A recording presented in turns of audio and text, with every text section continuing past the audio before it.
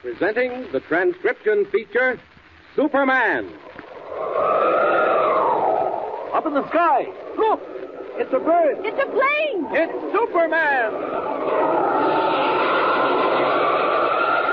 Now, Superman, valiant fighter for truth and justice, champion of the weak and the oppressed, who has appeared on Earth from the outer reaches of the universe with a physical structure never before attained by mortal men. Superman, who is stronger than a locomotive, faster than a speeding bullet, and who walks about among human beings as Miles Clark Kent, news reporter for the Daily Planet.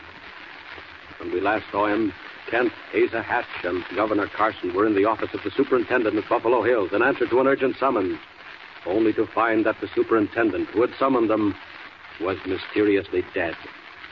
As our story continues today, some time has passed. It is the morning of the dedication ceremonies at the new Pioneers National Monument. And Kent and Hatch are pleading with the governor not to take part. Listen. Well, there goes the clock, gentlemen. Half past ten. If we're going to be ready for the great unveiling at noon, we'd better be on our way. Governor, please. I'm not talking through my hat, honestly. Now, Kent, look here. You've been talking for the past half hour, and you haven't yet produced a single valid reason why I shouldn't go to Buffalo Hills. Oh, my dear Carson, that's hardly fair. Look here, sir.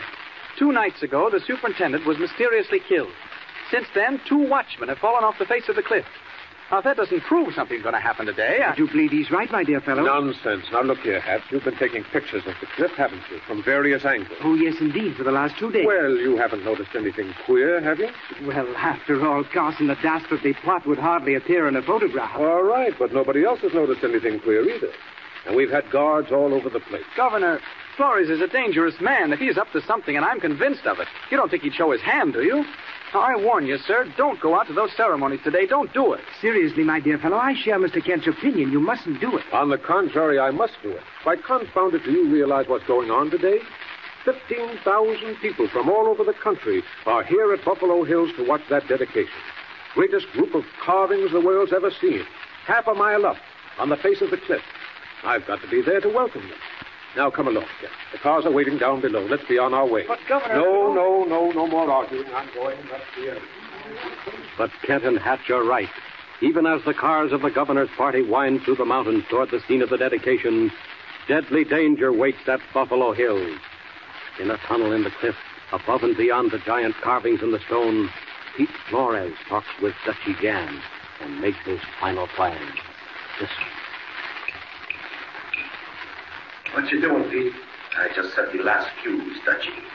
We are in the rock behind the car. Right below is where the governor will stand, directly under the cliff. When the cliff falls, it will fall on the governor and fall on the crowd, too. Gee, but they'll see it. They know it was dynamite. Ah, no, no, it is more clever. High up in the mountain, Dutchy, there are other charges. Just enough to start a, how you say, avalanche, yeah? What? An avalanche? Tons and tons of rocks. They come down, strike the top of the cliff. Big noise. Oh, oh I get it. Then what? When the rocks hit top of the cliff, they set off more charges. All the charges back of the car. Right over the head of the governor. Dutchy, wait till you see. When does it happen? At noon. The gun goes off in the valley. Then I throw the switch, see right here, and that sets off the avalanche on the mountain. At noon, when the gun goes off. Time goes fast, mi amigo. Already the crowd collects down there. Listen, Pete. What are you going to do? How are you going to get away yourself? You will wait in the car, Dutchy, on the cliff road, where we have left the car for the past three days. But you won't have time. Plenty of time. Three minutes before the crash comes, I throw the switch, and then I run, get in the car. We go fast. And after it is all over, who remember seeing car on Cliff Road? Maybe they think it lost in avalanche. Gee, I sure hope nothing slips. So, so believe me, mi amigo, nothing can slip now. When gun goes off on noon, you hear what I say. It speaks the end for Governor Carson. Now quick, help me fix the last fuse, then go.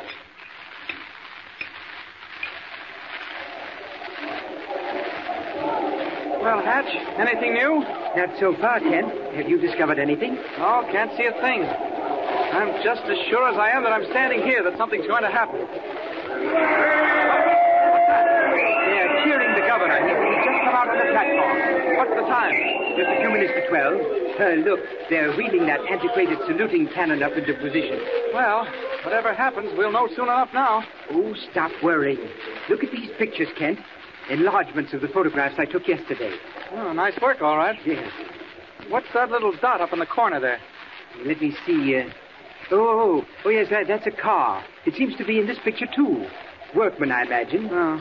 Where did you take these from, Hatch? Just about here, my dear fellow. Practically the same angle. Uh-huh.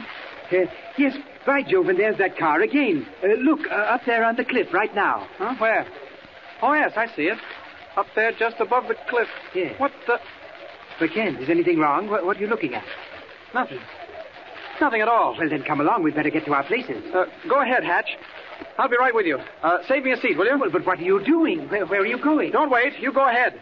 I just want to see somebody. I should say I do want to see somebody. I want to see the man in that car on the cliff. Good thing Superman has telescopic eyesight. Quick now. I'll duck back of these rocks. Nobody'll see me here. Up we go. Up, up.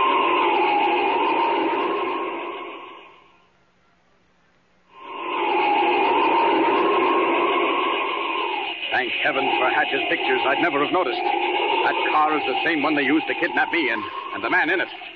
I'm not sure yet. Uh, yes, I am, too. The man in it is Dutchy Gann. Well, look out for yourself, Dutchy. Here I come. Hey, hey, where'd you come from? Ah, you've seen me before. Remember what happened to you? Where's Pete Flores and what's he doing? Quick, Dutchy, talk. No, no, no, I'll talk. I'll talk. He's in the tunnel. What tunnel? Right over there. He's going to start an avalanche when the gun goes off. What? When the gun goes off, keep talking, man. Rocks. They'll come down off the mountain, hit the top of the cliff, Quick, and quick, don't stop. Flores, he'll explode the whole works. The avalanche will touch it off. Yes? The cliff will fall on the governor. Governor. Flores is in the tunnel right now. That's all I need to know. I'll handle the rest. And Flores, too. Down that tunnel. Faster! Faster!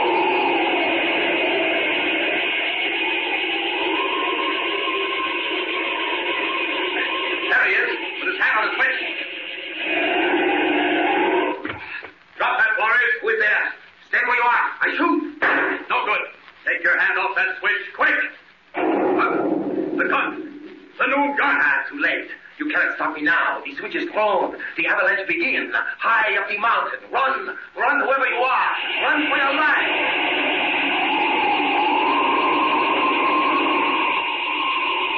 It's coming. I hear it. Out and up. Up! By heavens, it is coming. Right down the mountain. Right for the top of the cliff.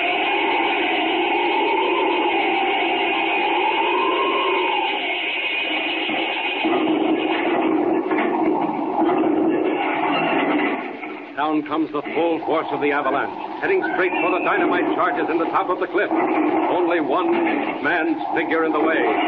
Red cloak streaming in the rush of wind, steel muscles tense. Superman defies the mountain. One final boulder, huge mass of rock bounding and spinning in the air. If I can keep standing where I am, I can deflect it down that gully. Miss the cliff clean. And miss those crowds down below. I don't know. It's shoving me back. Now, here's the biggest one yet. Last chance. Now then. Now this is the one that does it. Last chance. If this one gets by me, here it is. Now. Ah! Made it!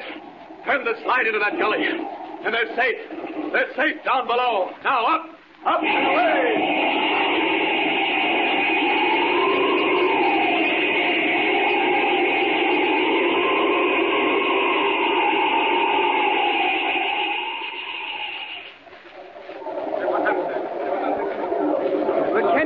Kent, my dear fellow, where on earth have you been? Oh, hello, Hatch.